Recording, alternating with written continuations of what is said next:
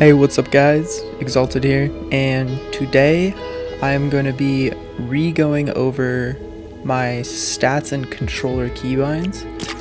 Uh, in my last video, the biggest thing you guys requested was for me to show you some clips of these keybinds in action. And that's exactly what I've done. So after I go over these, um, I'm going to just play some clips for you guys to show how advantageous especially the instant editing can be.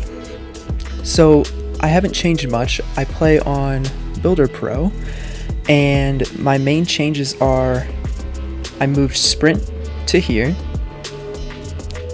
and edit to there. Now the only way you can do edit with your left thumbstick is if you have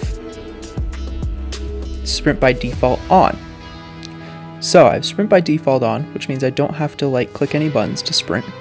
And with that button that you'd usually push into sprint, I'm using as my edit key. The reason why I'm doing this, as opposed to like making it my Y or X or anything else over here, is because my goal is to keep both my fingers on both of the thumbsticks as much as possible. Um, this allows you to manipulate your movement more efficiently while completing other actions so that you don't have to stop running, click a button, or stop looking around, click a button, then go back to your thumbstick. You can do it all at the same time. It makes your movement much more fluid and it'll definitely give you the upper hand on other players. Um, as far as building controls, nothing has really changed here. Uh, I've still got my edit right there.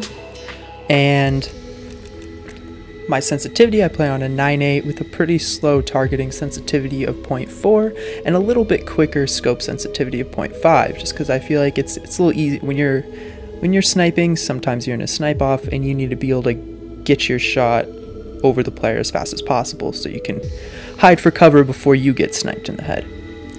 Now that's going to be it for my settings and thank you guys for watching the settings. I'm going to roll the uh, I'm going to roll the clips in just a second. Uh, with that being said, if you enjoy this video, leave a like and hit the sub button. I make a lot of tutorial videos to make you guys better players, and I'll see you guys in the next one. Peace.